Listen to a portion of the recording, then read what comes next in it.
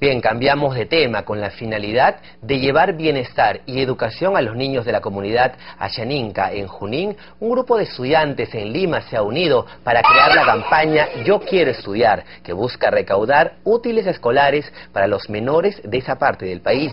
La comunidad de San Miguel del centro Maranquiari en Perené alberga a 65.300 personas, de los cuales solo 48 niños asisten a la escuela. Miren esta cifra. Los interesados en poder colaborar pueden acercarse hoy a partir de las 8 de la mañana al Parque Kennedy de Miraflores llevando útiles escolares nuevos o en buen estado. Si necesitan mayor información pueden ingresar a la página de Facebook titulado Yo quiero estudiar.